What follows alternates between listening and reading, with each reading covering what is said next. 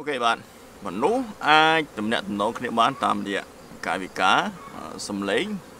តែនេះគឺគេហៅថាភាសាចុះចំណែកឯសត្វឃ្មុំតើតើសត្វឃ្មុំវាប្រើអ្វីដើម្បីប្រាប់ញាតិមិត្តរបស់វាដែលនៅក្នុងទូនោះឲ្យដឹងអំពីព័ត៌មានដែលវាបានជួប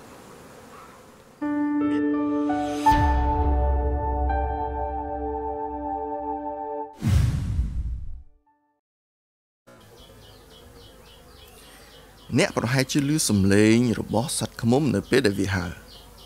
តែអ្វីដែលជាការតាក់ទងគ្នានោះ គឺតាមរយៈការរាំជារបាំទៅវិញទេ នៅពេលដែលឃ្មុំរាំតែតើវាប្រាប់ពីអ្វីខ្លះទីមួយគឺវាប្រាប់ពីប្រភពអាហារ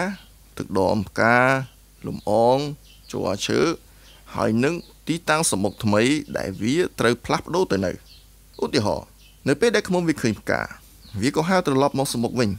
ហើយវាប្រាប់ឃ្មុំដទៃទៀតនៅផ្កាដែលវាបានឃើញ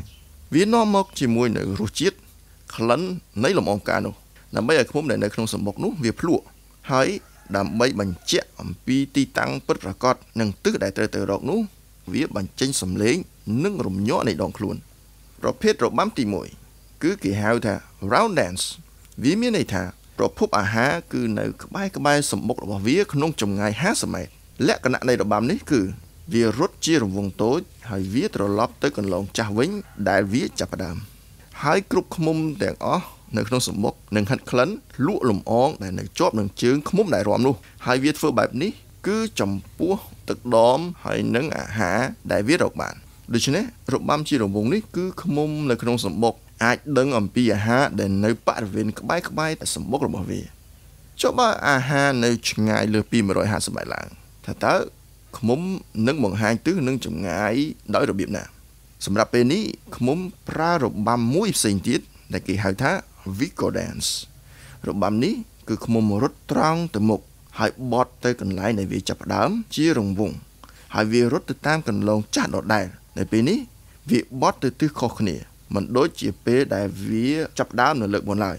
នៅពេលដែលវារត់ត្រង់ទៅមុខនោះ វាក៏ក្រវីខ្លួនរបស់វាចុះឡើងចុះឡើងហើយវាក៏កកិតស្លាប់របស់វាផងដែរដើម្បីបង្កើតបានទៅជាសម្លេងងូងូចុះធ្វើដោយមិនដេចដើម្បីឲ្យឃ្មុំដតីទៀតដឹងថាប្រភពអាហារទាំងនោះនៅចម្ងាយប្រពន្ធណាកាលណាវារត់ត្រង់ទៅមុតអាហារនៅឆ្ងាយប្រពន្ធណា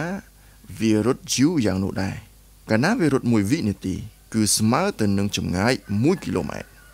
ចុះទិសដែលត្រូវទៅវិញ អ្នកនរគ្នាដឹងទេឃ្មុំគឺគ្មាន Google Map ទេមាន smartphone ទេអ្នកនរគ្នា តែវាយកព្រះអាទិត្យជាគោលដៅកាលណាវាឆ្ពោះទៅមុខនោះគឺមានន័យថានោះគឺជាទិសដៅរបស់ព្រះអាទិត្យបើសិនបើវារំឆ្ពោះត្រង់ទៅខាងលើចំទិសដៅព្រះអាទិត្យនោះមានន័យថាប្រភពអាហារគឺនៅចំទិសរបស់ព្រះអាទិត្យនោះឯងបើសិនជាប្រភពអាហារ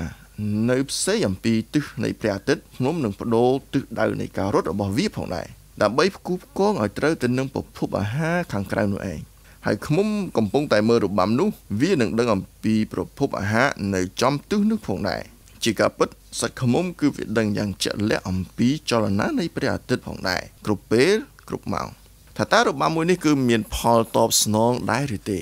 ជាការពិតណាស់1ភាគ3នៃប្រភេទឈើផ្លែដែលមនុស្សបរិភោគសប្តាហ៍នេះវាបានមកអំពីឈើដែលពឹងផ្អែក ទៅលើសត្វឃ្មុំ មានន័យថាពួកយើងពិតជា មានភាពសមមនស្សរីករាយណាស់ចំពោះរបាំទាំងពីរនេះ គឺ round dance ហើយនិង